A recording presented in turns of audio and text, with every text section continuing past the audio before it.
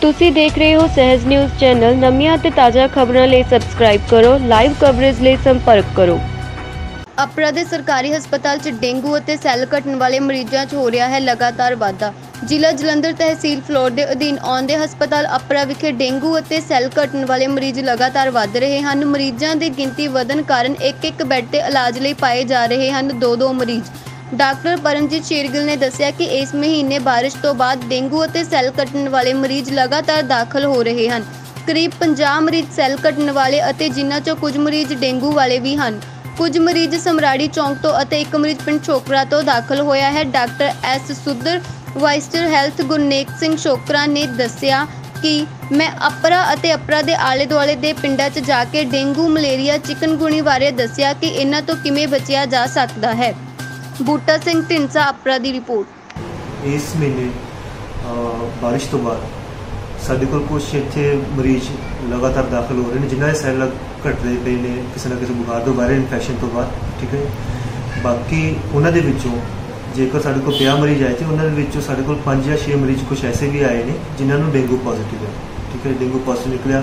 ਉਹ ਉੱਪਰ ਦੇ ਕੁਝ ਖਾਸ ਇਲਾਕੇ ਤੋਂ ਜਿੱਦਾਂ ਕਿ ਸਮਰਾਲੀ ਚੌਂਕ ਵਾਲਾ ਇਲਾਕਾ ਹੈ ਠੀਕ ਹੈ ਜੀ? ਇੱਕ ਮਰੀਜ਼ ਸ਼ਾਇਦ ਸ਼ੁਕਰਾ ਦਾ ਆ।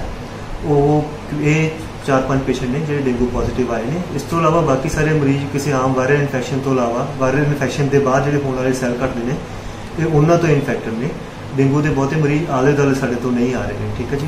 ਬਾਕੀ ਫਿਰ ਵੀ ਜਿਹੜੇ ਜਿਹੜੇ ਸਾਡੇ ਕੋਲ ਮਰੀਜ਼ ਆ ਰਹੇ ਨੇ, ਅਸੀਂ ਉਹਨਾਂ ਨੂੰ ਪੂਰੀ ਇੱਥੇ ਟ੍ਰੀਟਮੈਂਟ ਦੇਣ ਦੇ ਨਾਲ ਨਾਲ ਜੋ ਵੀ ਅਸੀਂ ਉਹਨਾਂ ਨੂੰ ਨਾਲ ਐਜੂਕੇਸ਼ਨ ਦੇ ਸਕਦੇ ਹਾਂ ਠੀਕ ਹੈ ਜਿੰਨੀ ਵੀ ਜਾਣਕਾਰੀ ਦੇ ਸਕਦੇ ਹਾਂ ਸਭ ਮਰੀਜ਼ਾਂ ਨੂੰ ਦੇ ਰਹੇ ਹਾਂ ਨਾਲ ਦੀ ਨਾਲ ਠੀਕ ਹੈ ਜੀ?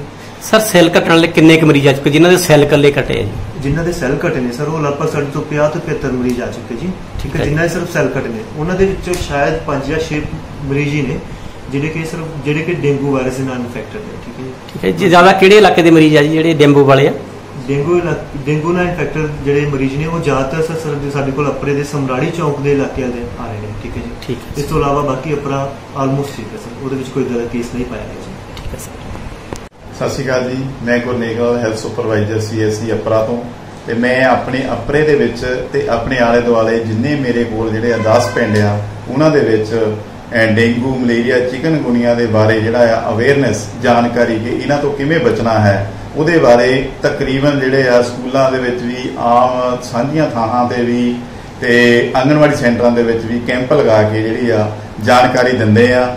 ਔਰ ਜਿਹੜੇ ਹੁਣ ਮੀਂਹ ਪਏ ਆ ਉਹਨਾਂ ਦਾ ਜਿਹੜਾ ਪਾਣੀ ਆ ਉਹ ਖੜਾ ਹੋਇਆ। ਜਿਵੇਂ ਅਹ, ਕਬਾੜੀਆਂ ਦੀਆਂ ਦੁਕਾਨਾਂ ਆ ਉਹਨਾਂ ਦਾ ਸਮਾਨ ਬਹੁਤ ਬਾਹਰ ਪਿਆ ਹੁੰਦਾ ਹੈਗਾ ਕਬਾੜ ਦਾ ਉਹਦੇ ਵਿੱਚ ਪਾਣੀ ਬਹੁਤ ਖੜਾ ਹੋਇਆ। ਉਹਦੇ ਪਾਣੀ ਖੜਾ ਹੋਣ ਦੇ ਨਾਲ ਮੱਛਰ ਜਿਹੜਾ ਆ ਉਹ ਇਹ ਡੇਂਗੂ ਫੈਲਾਉਣ ਵਾਲਾ ਪੈਦਾ ਹੋਇਆ।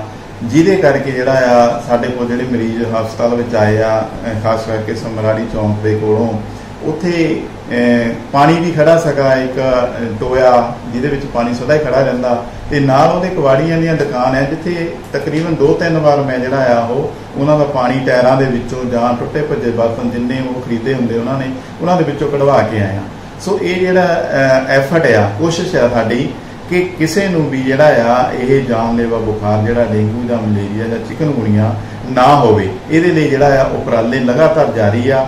ਸਾਡਾ ਜਿਹੜਾ ਸਾਥ ਆ ਉਹ ਪਿੰਡ ਦੇ ਲੋਕ ਵੀ, ਪੰਚਾਇਤ ਨੇ ਵੀ ਬਹੁਤ ਦਿੱਤਾ ਤੇ ਮੀਡੀਆ ਨੇ ਜਿਹੜਾ ਆ, ਉਹ ਜ਼ਿਆਦਾਤਰ ਸਾਡਾ ਇੰਨਾ ਸਾਥ ਦਿੱਤਾ ਕਿ ਜੋ ਵੀ ਸਾਡਾ ਮੈਸੇਜ ਸੀਗਾ, ਉਹਨੂੰ ਘਰ ਘਰ ਤੱਕ ਪਹੁੰਚਾਉਣ ਦੇ ਲਈ ਸਾਡੀ ਜਿਹੜੀ ਆ ਮੋਢੇ ਨਾਲ ਮੋਢਾ ਜੋੜ ਕੇ ਜਿਹੜੀ ਆ ਗੱਲਬਾਤ ਸੁਣੀ ਆ, ਸਾਥ ਨਿਭਾਇਆ। ਤੇ ਕੱਲ ਹੀ ਜਿਹੜਾ ਇੱਕ ਛੋਕਰਾਂ ਦਾ ਪੋਜ਼ਿਟਿਵ ਕੇਸ ਸੀ ਨਿਕਲਿਆ, ਜਿਹਦੇ ਆਲੇ ਦੁਆਲੇ ਜਿੰਨੇ ਘਰ ਸੀਗੇ 20 25 ਘਰ ਜਿੰਨੇ ਉਹਦੇ ਆਲੇ ਦੁਆਲੇ ਸੀਗੇ, ਉਹਨਾਂ ਦੇ ਸਾਰੇ ਘਰਾਂ ਦੇ ਵਿੱਚ ਕੱਲੇ ਕੱਲੇ ਵਿੱਚ ਜਾ ਕੇ ਉਹਨਾਂ ਦੀਆਂ ਫ੍ਰਿਜ ਦੀਆਂ ਟਰੇਆਂ, ਉਹਨਾਂ ਦੇ ਕੂਲਰ, ਉਹਨਾਂ ਦੇ ਗਮਲੇ, ਉਹਨਾਂ ਘਰਾਂ ਦੇ ਟਾਇਰ ਸੀਗੇ।